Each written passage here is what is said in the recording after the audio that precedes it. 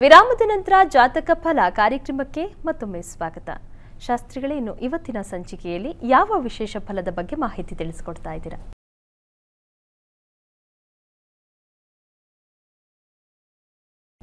ಈ ದಿವಸ ಈ ಅಷ್ಟಮಾಧಿಪತಿ ಭಾಗ್ಯಸ್ಥಾನದಲ್ಲಿದ್ದರೆ ಒಂಬತ್ತನೇ ಮನೆಯಲ್ಲಿದ್ದರೆ ಏನು ಫಲ? ನವಮೇಶೇ ತಪಸ್ಥಾನೆ, ತಪಸ್ಸಿನ ಸ್ಥಾನದಲ್ಲಿದ್ದರೆ ಧರ್ಮ ವಿರೋಧಿ ನಾಸ್ತಿಕ ಪರದ್ರವ್ಯಾಪಹಾರಕ ಅಂತೆಲ್ಲ ಹೇಳುತ್ತೆ.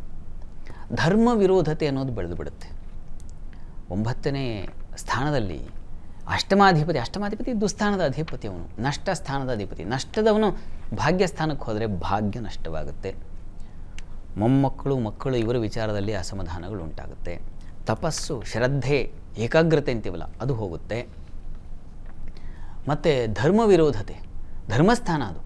ಧರ್ಮಸ್ಥಾನದಲ್ಲಿ ದುಸ್ಥಾನದ ಅಧಿಪತಿ ಇದ್ಬಿಟ್ರೆ ಧರ್ಮ ವಿರೋಧಿ ಚಟುವಟಿಕೆಗಳಲ್ಲಿ ಭಾಗಿಯಾಗ್ಬಿಡ್ತೀವಿ.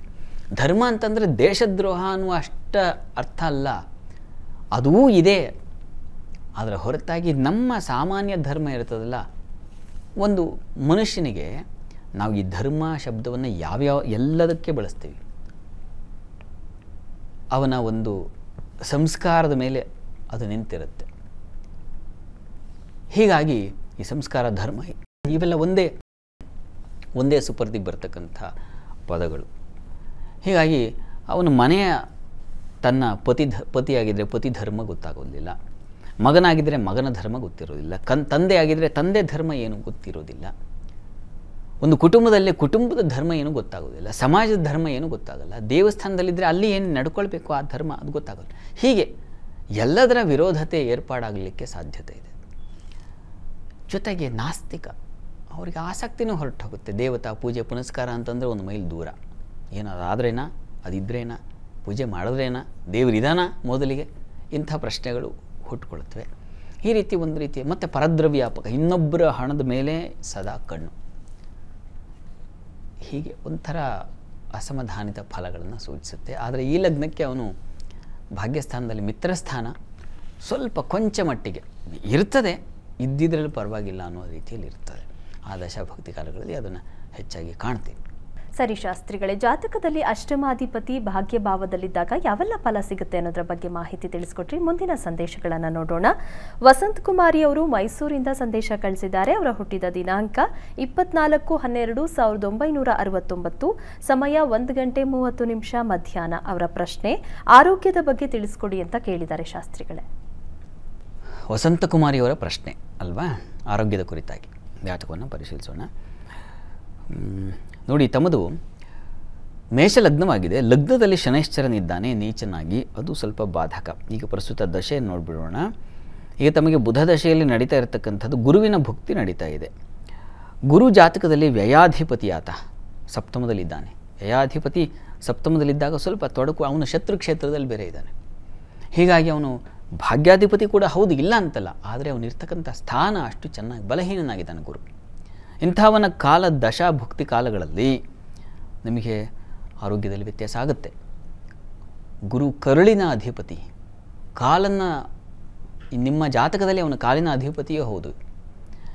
ಹೀಗಾಗಿ ಗುರುವಿನ ಶಾಂತಿ ಮಾಡಿಸ್ತಕ್ಕಂಥದ್ದು ಬಹಳ ಒಳ್ಳೆಯದು ಗುರು ಸ್ತೋತ್ರವನ್ನು ಹೇಳ್ಕೊಳ್ಳೋದು, ಗುರು ಕವಚವನ್ನು ಹೇಳ್ಕೊಳ್ಳೋದು ಮತ್ತು ಗುರುವಿನ ಪ್ರೀತಿಯರ್ಥವಾಗಿ ಕಡಲೆ ಧಾನ್ಯ ದಾನ ಮಾಡೋದು. ಇವೆಲ್ಲ ನಿಮ್ಮ ಆರೋಗ್ಯವನ್ನು ಸದೃಢ ಮಾಡುತ್ತೆ. ದಯವಿಟ್ಟು ಮಾಡಿಸಿ. ನಿಮ್ಮ ಆರೋಗ್ಯ ಸರಿ ಹೋಗುತ್ತೆ. ಗುರುವಿನ ಕೃಪೆಯಾದರೆ ಅವನು ವಸ್ತುತಃ ಅವನು ದೋಷ ಹರಣ ಮಾಡುವ ಗ್ರಹ. ಹೀಗಾಗಿ ಅವನ ಪ್ರಾರ್ಥನೆಯಿಂದ ನಿಮಗೆ ಅನುಕೂಲ ಆಗುತ್ತೆ. ಮಾಡಿ ಒಳ್ಳೆಯದಾಗಲಿ. ಸರಿ ಶಾಸ್ತ್ರಿಗಳೇ, ಇನ್ನು ವಿಜಯ್ ಅವರು ಕೋಲಾರದಿಂದ ಸಂದೇಶ ಕಳಿಸಿದ್ದಾರೆ. ಅವರ ಹುಟ್ಟಿದ ದಿನಾಂಕ ಹತ್ತು ಮೂರು ಸಾವಿರದ ಒಂಬೈನೂರ ತೊಂಬತ್ತೊಂಬತ್ತು, ಸಮಯ ಎಂಟು ಗಂಟೆ ಬೆಳಗ್ಗೆ. ಅವರ ಪ್ರಶ್ನೆ, ಕೆಲಸ ಮತ್ತು ಮದುವೆ ಬಗ್ಗೆ ತಿಳಿಸ್ಕೊಡಿ ಅಂತ ಕೇಳಿದ್ದಾರೆ ಶಾಸ್ತ್ರಿಗಳು. ವಿಜಯ್ ಅವರ ಪ್ರಶ್ನೆ, ಕೆಲಸ ಮತ್ತು ವಿವಾಹ, ವೃತ್ತಿ ವಿವಾಹಕ್ಕೆ ಸಂಬಂಧಿಸಿರ್ತಕ್ಕಂಥದ್ದಾಗಿದೆ. ಜಾತಕವನ್ನು ಪರಿಶೀಲಿಸೋಣ. ನೋಡಿ, ತಮ್ಮದು ಮೀನ ಲಗ್ನವಾಗಿದೆ. ಲಗ್ನದಲ್ಲಿ ಗುರು, ಶುಕ್ರ ಬುಧರಿದ್ದಾರೆ ಒಳ್ಳೆಯದಿದು.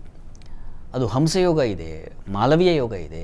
ಎರಡು ಯೋಗಗಳು ಒಂದೇ ಸ್ಥಾನದಲ್ಲಿ ಏರ್ಪಾಡಾಗಿದೆಯಲ್ಲ, ಇದು ಬಹಳ ಬಹಳ ಉತ್ಕೃಷ್ಟವಾದ ಒಂದು ಲಕ್ಷಣ.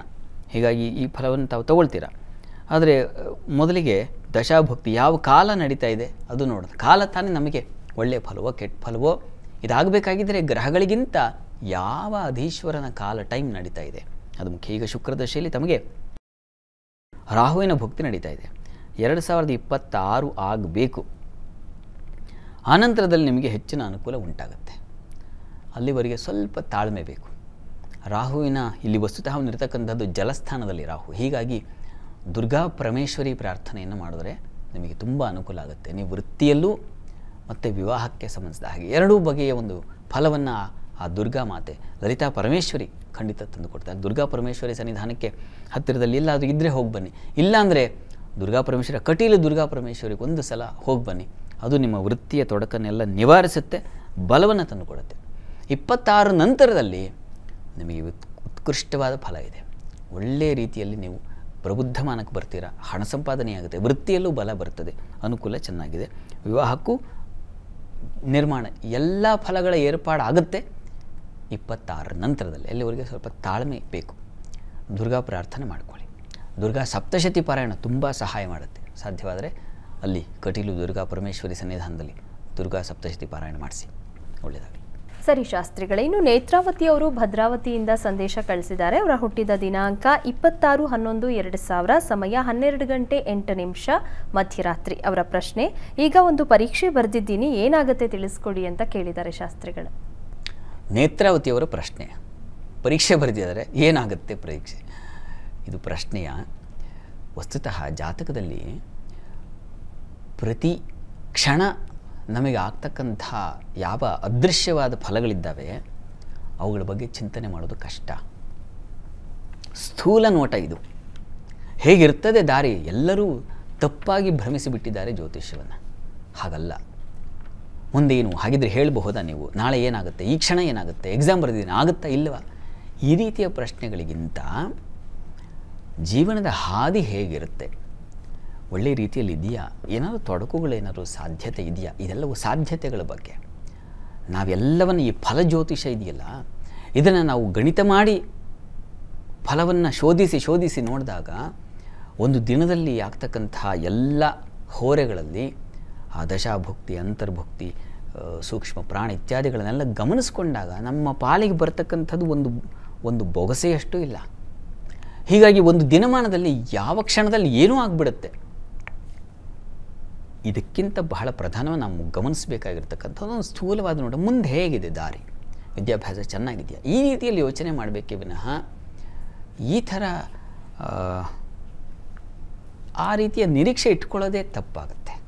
ಪ್ರಸ್ತುತ ನಿಮ್ಮ ಜಾತಕವನ್ನು ಗಮನಿಸಿದ್ರೆ ನೋಡಿ ನಿಮ್ಮ ಸಿಂಹ ಲಗ್ನವಾಗಿದೆ ಲಗ್ನದ ಅಧೀಶ್ವರ ಆತ ಚತುರ್ಥದಲ್ಲಿದ್ದಾನೆ. ನಿಮ್ಮ ಈಗ ನಡೀತಾ ಇರತಕ್ಕಂಥದ್ದು ಬುಧನ ದಶೆಯಲ್ಲಿ ನಡೀತಾ ಇರತಕ್ಕಂಥದ್ದು. ಈಗ ತಮಗೆ ರಾಹುವಿನ ಕಾಲ ನಡೀತಾ ಇದೆ. ಬುಧನ ದಶೆ ರಾಹುವಿನ ಭುಕ್ತಿ ನಡೀತಾ ಇದೆ. ನೋಡಿ, ರಾಹು ನಿಮ್ಮ ಜಾತಕದಲ್ಲಿ ಇರತಕ್ಕಂಥದ್ದು ಲಾಭ ಸ್ಥಾನದಲ್ಲಿ. ಪಾಪೋಪಿ ಪಾಪಗ್ರಹಗಳು ತೃತೀಯ ಲಾಭಕ್ಷಗತೈ ಪಾಪಕೈ ತೃತೀಯ ಸ್ಥಾನದಲ್ಲೋ, ಲಾಭ ಸ್ಥಾನದಲ್ಲೋ ಪಾಪಗ್ರಹಗಳಿದ್ದರೆ ಅದು ಒಳ್ಳೆಯದು ಅಂತ ಮತ್ತು ರಾಹುಗಿಲಿ ಬಲವಾದ ಸ್ಥಾನ. ಹೀಗಾಗಿ ನಿಮ್ಮ ಜಾತಕ ಹೇಳ್ತಾ ಇದೆ, ಈಗ ಕಾಲ ಚೆನ್ನಾಗಿದೆ. ನಿಮ್ಮ ಪ್ರಯತ್ನಕ್ಕೆ ಒಂದಷ್ಟು ಲಾಭದ ಫಲವನ್ನು ಕಾಣಲಿಕ್ಕೆ ಅವಕಾಶ ಇದೆ ಅನ್ನೋದನ್ನು ಸೂಚಿಸ್ತಾ ಇದೆ. ಇಂತಹ ಸಂದರ್ಭದಲ್ಲಿ ನಾವು ಹೆಚ್ಚಾಗಿ ಓದಬೇಕು. ಚೆನ್ನಾಗಿ ಮನನ ಮಾಡಿಕೊಳ್ಬೇಕು ಎಕ್ಸಾಮಲ್ಲಿ ಬರೀಬೇಕು. ನಿಮಗೆ ಕಾಲ ಗ್ರಹಗಳ ಅನುಕೂಲ ಚೆನ್ನಾಗಿದೆ. ರಾಹು ಆದರೂ ಅವನ ಲಾಭದ ಲಾ, ರಾಹು. ಹೀಗಾಗಿ ತಾವು ಪ್ರಯತ್ನ ಮಾಡಿ ರಾಹುವಿಗೆ ಬಹಳ ವಿಶೇಷವಾಗಿ ಅಮ್ಮನವರ ಪ್ರಾರ್ಥನೆ ಹೇಳಿದೆ. ಸುಬ್ರಹ್ಮಣ್ಯನ ಪ್ರಾರ್ಥನೆಯನ್ನು ಹೇಳಿದೆ. ಹೀಗಾಗಿ ನೀವು ಪ್ರತಿ ಮಂಗಳವಾರ ಮಂಗಳವಾರ ಸುಬ್ರಹ್ಮಣ್ಯ ಸ್ವಾಮಿ ಮತ್ತು ಹಾಗೂ ಅಮ್ಮನವರ ಸನ್ನಿಧಾನ, ಪಾರ್ವತಿ ಸುಬ್ರಹ್ಮಣ್ಯ ಸಾಮಾನ್ಯವಾಗಿ ತಾಯಿ, ಮಗ ಒಂದು ಕಡೆ ಇರ್ತಾರೆ. ಅಂಥ ದೇವಸ್ಥಾನಕ್ಕೆ ಹೋಗಿ ಒಂದು ವಿಶೇಷವಾದ ಸೇವೆಯನ್ನು ಸಲ್ಲಿಸಿ ಒಂದು ನಮಸ್ಕಾರ ಹಾಕಿ ಬನ್ನಿ. ನಿಮಗೆ ದೈವ ಸಹಾಯ ಸಿಗುತ್ತೆ. ಒಳ್ಳೆಯದಾಗಲಿ ಸರಿ ಶಾಸ್ತ್ರಿಗಳೇ ಇನ್ನು ವೀರಣ್ಣ ಅವರು ವಿಜಯನಗರದಿಂದ ಸಂದೇಶ ಕಳಿಸಿದ್ದಾರೆ. ಅವರ ಹುಟ್ಟಿದ ದಿನಾಂಕ ನಾಲ್ಕು ಎಂಟು ಸಾವಿರದ ಒಂಬೈನೂರ ಅರವತ್ತೊಂಬತ್ತು ಸಮಯ ಏಳು ಗಂಟೆ ಮೂವತ್ತು ನಿಮಿಷ ಬೆಳಗ್ಗೆ. ಅವರ ಪ್ರಶ್ನೆ ಸಾಲದ ಸಮಸ್ಯೆ ಇದೆ ಏನು ಮಾಡಬೇಕು ತಿಳಿಸ್ಕೊಡಿ ಅಂತ ಕೇಳಿದ್ದಾರೆ ಸೂಕ್ತ ಸ್ಪಷ್ಟ ಸಲಹೆಯನ್ನ ನೀಡಿ ಅಂತ ಕೇಳಿದ್ದಾರೆ ಶಾಸ್ತ್ರಿಗಳೇ. ವೀರಣ್ಣ ಅವರ ಪ್ರಶ್ನೆ ಸಾಲದ ಸಮಸ್ಯೆ ಸಿಗಾಕೊಂಡ್ಬಿಟ್ಟಿದ್ದಾರೆ. ಅದರಿಂದ ಹೊರಬರೋದು ಹೇಗೆ ಅನ್ನೋದು ಅವರ ಪ್ರಶ್ನೆ. ತಮ್ಮ ಜಾತಕವನ್ನು ಪರಿಶೀಲಿಸೋಣ. ಏನಾಗಿದೆ? ಷಷ್ಠಸ್ಥಾನವನ್ನು ಋಣಸ್ಥಾನ ಅಂತ ಕರೆಯಲಾಗುತ್ತೆ. ಸಾಲ ಸುಳಿಗೆ ಸಿಕ್ಕಾಕ್ಕೊಂಡಿದ್ದೀನಿ ಅಂದರೆ ಕಾರಣ ಆರನೇ ಅಧಿಪತಿ ಆಗಿರೋದಕ್ಕೆ ಹೆಚ್ಚಿನ ಅವಕಾಶ ಇದೆ. ನೋಡೋಣ ನೋಡಿ, ತಮ್ಮದು ಸಿಂಹಲಗ್ನವಾಗಿದೆ.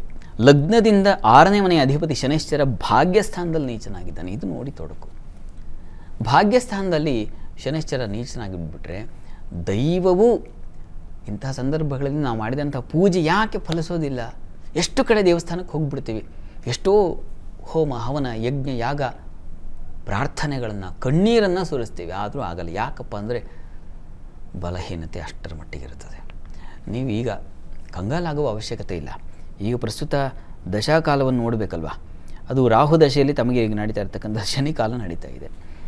ಹೀಗಾಗಿ ನೀವು ಈಗ ನೋಡಿ, ಅವನಿರ್ತಕ್ಕಂಥದ್ದು ಕುಜನ ಮನೆಯಲ್ಲಿ ಕ್ರೂರಗ್ರಹೈ ಪೀಡಿತಾನಾಂ ಭಕ್ತಾನಾಂ ಅಭಯಪ್ರದಂ ಶ್ರೀ ನೃಸಿಂಹಂ ಮಹಾವೀರಂ ನಮಾಮಿ ಋಣಮುಕ್ತಯೇ ಇದು ಮಂತ್ರ. ಋಣಮುಕ್ತರಾಗಲಿಕ್ಕೆ ಇರತಕ್ಕಂಥ ಒಂದು ಮಂತ್ರ, ವಿಶೇಷವಾದ ಮಂತ್ರ. ಪ್ರತಿ ದಿವಸ ನೂರ ಎಂಟು ಬಾರಿ ಈ ಮಂತ್ರವನ್ನು ಹೇಳ್ಕೊಳ್ಳಿ. ಮತ್ತು ಶನೇಶ್ವರ ಸನ್ನಿಧಾನಕ್ಕೆ ಹೋಗಿ, ಈ ಮಂತ್ರ ನರಸಿಂಹಸ್ವಾಮಿದು. ನೀವು ಶನೇಶ್ವರ ದೇವಸ್ಥಾನಕ್ಕೆ ಹೋಗಿ ತಿಲ ದಾನ. ಎಳ್ಳಿನ ದಾನ ಮಾಡಿ ಪಾಪಗಳು ಹೋದ್ರೂ ನಮಗೆ ಶುಭ ಫಲ ಏರ್ಪಾಡಾಗಲಿಕ್ಕೆ ಅವಕಾಶ ಆಗುತ್ತೆ. ಹೀಗಾಗಿ ತಿಲ ದಾನವನ್ನು ಪ್ರತಿ ಶನಿವಾರ ಶನಿವಾರ ಎಂಟು ಶನಿವಾರಗಳ ಕಾಲ ಮಾಡಿ ಈ ಮಂತ್ರವನ್ನು ಹೇಳ್ಕೊಳ್ಳಿ. ಅನುಕೂಲ ಆಗುತ್ತೆ. ಯಾವಾಗ ತೊಡಕಿರುತ್ತೆ, ಆಗ ಆರಾಧನೆಯಿಂದ ನಮಗೆ ಆ ತೊಡಕಿನಿಂದ ಬಿಡಿಸ್ಕೊಳ್ಳಿಕ್ಕೆ ಸಹಾಯವಾಗುತ್ತೆ. ಒಳ್ಳೆಯದಾಗಲಿ ಸರಿ ಶಾಸ್ತ್ರಿಗಳೇ, ಇನ್ನು ದೀಪಿಕಾ ಅವರು ಬಳ್ಳಾರಿಯಿಂದ ಸಂದೇಶ ಕಳಿಸಿದ್ದಾರೆ. ಅವರ ಹುಟ್ಟಿದ ದಿನಾಂಕ ಎರಡು ಮೂರು ಎರಡು ಸಾವಿರದ ಆರು, ಸಮಯ ನಾಲ್ಕು ಗಂಟೆ ಐದು ನಿಮಿಷ ಸಂಜೆ. ಅವರ ಪ್ರಶ್ನೆ ಶಿಕ್ಷಣದ ಬಗ್ಗೆ ತಿಳಿಸಿ, ಈಗ ಎಸ್ ಎಸ್ ಎಲ್ ಸಿ ಆಗಿದೆ ಅಂತ ಹೇಳಿದ್ದಾರೆ ಶಾಸ್ತ್ರಿಗಳು. ದೀಪಿಕಾ ಅವರ ಪ್ರಶ್ನೆ ಶಿಕ್ಷಣದ ಬಗ್ಗೆ ತಿಳಿಸಬೇಕಾಗಿದೆ. ಎಸ್ ಎಸ್ ಎಲ್ ಸಿ ಮುಗಿಸಿದ್ದಾರೆ ಮುಂದೇನು ಅಂತ. ಜಾತಕವನ್ನು ಪರಿಶೀಲಿಸೋಣ. ನೋಡಿ, ತಮ್ಮದು ಕರ್ಕಟಕ ಲಗ್ನವಾಗಿದೆ. ಲಗ್ನದಿಂದ ಚತುರ್ಥದಲ್ಲಿ ಗುರು ಇರ್ತಕ್ಕಂಥದ್ದು ಬಹಳ ಒಳ್ಳೆಯದು ಮೇ ಶತ್ರು ಕ್ಷೇತ್ರ, ಆದರೂ ಚತುರ್ಥದ ಗುರು ತೊಂದರೆ ಇಲ್ಲ.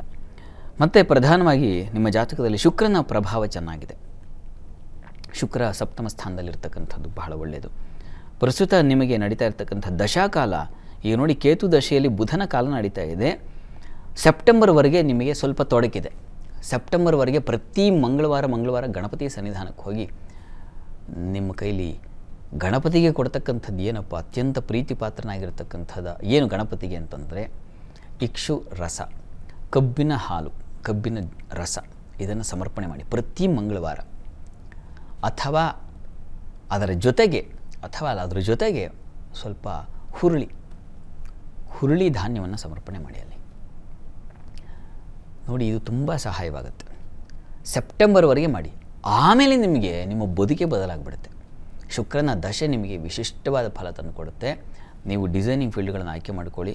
ಎಲೆಕ್ಟ್ರಾನಿಕ್ಸ್ ಕೂಡ ತಗೋಬಹುದು ನೀವು. ಯಾಕೆಂದರೆ ಕುಜ ನವಾಂಶದಲ್ಲಿ ತನ್ನದೇ ಅಂಶ ತೆಗೆದುಕೊಂಡಿರೋದು ಒಳ್ಳೆಯದಿದು ಹೀಗಾಗಿ ಎಲೆಕ್ಟ್ರಾನಿಕ್ಸ್, ಎಲೆಕ್ಟ್ರಿಕಲ್, ಆಟೋಮೊಬೈಲ್ಸ್ ಇವುಗಳು ಚೆನ್ನಾಗಾಗುತ್ತೆ ನಿಮಗೆ. ಪ್ರಯತ್ನ ಮಾಡಿದ್ರೆ ನಿಮಗೆ ಅದರಲ್ಲಿ ಸುಲಭ ಅನಿಸುತ್ತೆ.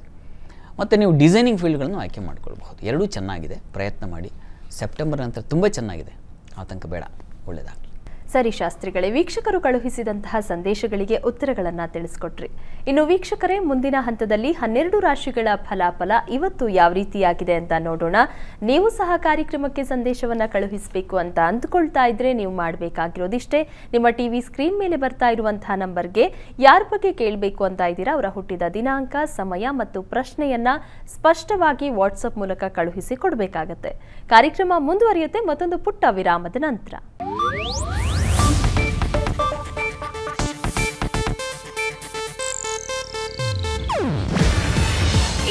ಏಷ್ಯಾನೆಟ್ ನ್ಯೂಸ್ ನೆಟ್ವರ್ಕ್ ಪ್ರಸ್ತುತಿ. ನೀವು ನೋಡ್ತಿದ್ದೀರಾ ಏಷ್ಯಾನೆಟ್ ಸುವರ್ಣ ನ್ಯೂಸ್.